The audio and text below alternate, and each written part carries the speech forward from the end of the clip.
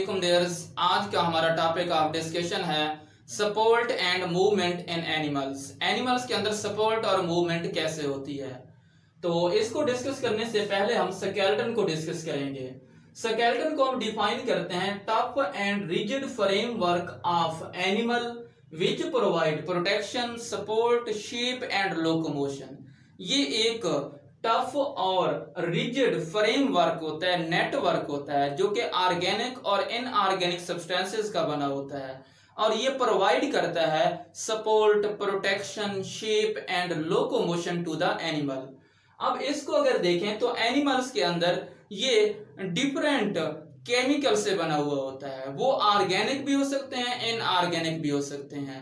फिर सिंगल जो सेल पर मुश्तमिल जानदार हैं, जैसे प्रोटोजोन है उनको देखें तो वो सिंगल सेल से सिक्रीट करते हैं अपने स्केलेटन को। लेकिन मल्टी सेलर जानदारों को देखें तो वो स्पेसिफिक सेल्स से इसे बना रहे होते हैं। हम फिर स्केलेटन को तीन मेन कैटेगरीज के अंदर डिवाइड कर देते हैं। एक को हम कहते हैं हाइड्रोस्टैटिक स्केलेटन दूसरा है एक्सोस्केलेटन तीसरा है एंडोस्केलेटन एंडोस्केलेटन हम कहेंगे skeleton present in the into the body या विद इन द बॉडी अगर किसी एनिमल की बॉडी के अंदर स्केलेटन मौजूद है और जो वो तीनों काम कर रहा है, प्रोटेक्शन, मूवमेंट, सपोर्ट और शेप तो उसे हम नाम दे देंगे किसका? एंडोस्केलेटन का।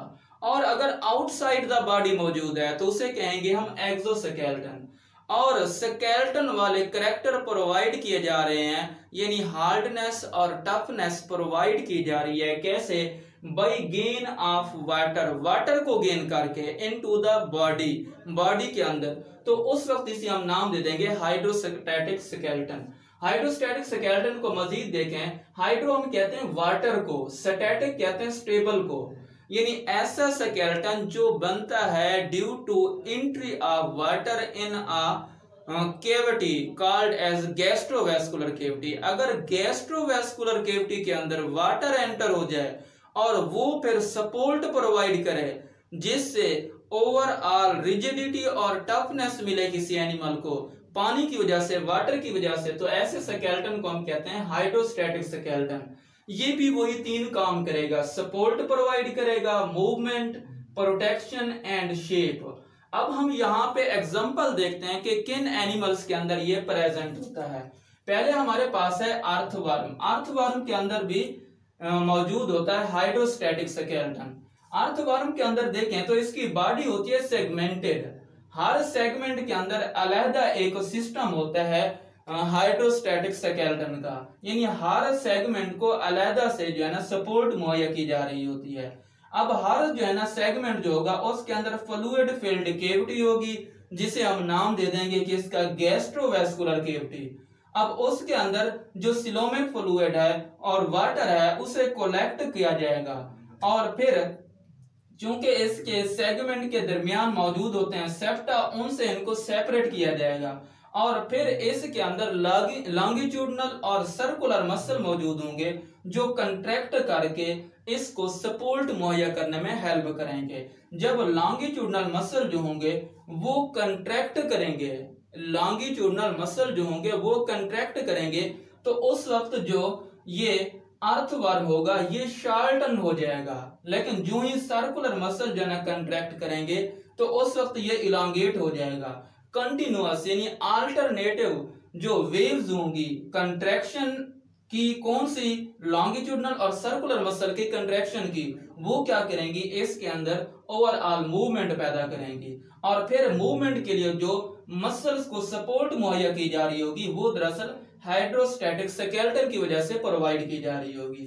फिर इसी तरीके से अगर हम देखें, जो हमारे पास जेली पेश है, ये भी अपने अंदर हाइड्रोस्टैटिक स्केलेटन बनाती है। ये अपने माउथ के ज़रिए वाटर को गेन करती है और अपनी फ्लूड फिल्ड केविटी के अंदर इसे जो है ना, लेकर फिर अपने माउथ को क्लोज कर देती है। और फिर इसके जो मसल्स होते हैं इसके अंदर जो सर्कुलर मसल होते हैं, वो कंट्रैक्ट करते हैं, जिससे प्रेशर पड़ता है वाटर के अंदर। और उस दौरान ये फिर जो है, उससे सपोर्ट गेन करती है और फिर मूव करती है। इसी तरीके से अगर हम देखें, हमारे पास सी एनिमोन मौजूद है। सी एनिमोन भी इसी तरीके से मूव करता है। ये वाटर को गेन करता है माउथ के ज़रिए। बॉडी के अंदर ले आता है, फिर माउथ को क्लोज अप कर लेता है। और उसके बाद ये फिर अपने मसल्स को कंट्रैक्ट करता है, जिससे उन्हें सपोर्ट मिलती है, किससे? उस वाटर के पड़ने वाले प्रेशर से। जिस, वो क्यों बना है? क्योंकि जब मसल्स कंट्रैक्ट होंगे तो मसल के कंट्रैक्ट होने से दबाव पड़ेगा वाटर के ऊपर, और वाटर फिर जो ना ओवरऑल प्रेशर डालेगा उन मसल्स के ऊपर। तो ओवरऑल सपोर्ट मिलेगी यहाँ पे। मसल्स को जिसकी वजह से वो कंट्रैक्ट रिलैक्स करेंगे। और ओवरऑल जो है ना, इसे सपोर्ट मिल जाएगी, ये स्ट्रेटन हो जाएगा, ये बिल्कुल अपराइट हो जाएगा। तो ये पहले क्या करेगा? वैसे ही माउथ के अंदर वाटर लेगा, उससे फिर गैस्ट्रोवेस्कुलर केविटी में और टेंटिकल में चला जाएगा वाटर वो क्या हो जाएँगे? वो जब वाटर को लेंगे तो वो जो है ना स्ट्रेट अप हो जाएँगे। अपराइट हो जाएँगे और इसी दौरान जो सर्कुलर मसल होंगे वो कंट्रैक्शन काज करेंगे जिससे प्रेशर पड़ेगा वाटर के ऊपर और फिर इनको सपोर्ट मिलेगी। उस सपोर्ट की वजह से ये फिर एक जगह से दूसरी जगह भी मूव कर सकते हैं और अपने आप को अपराइट कर लेते हैं। तो ये थी हमारे पास जो आ, मतलब हाइड्रोस्टैटिक स्केल्टन की एग्जांपल्स हैं वो। और इसके बाद हम नेक्स्ट स्टार्ट करेंगे। एंडोस्केल्टन वो इंशाल्लाह नेक्स्ट टॉपिक में स्टार्ट करेंगे। तब तक के लिए अल्लाह हाफिज।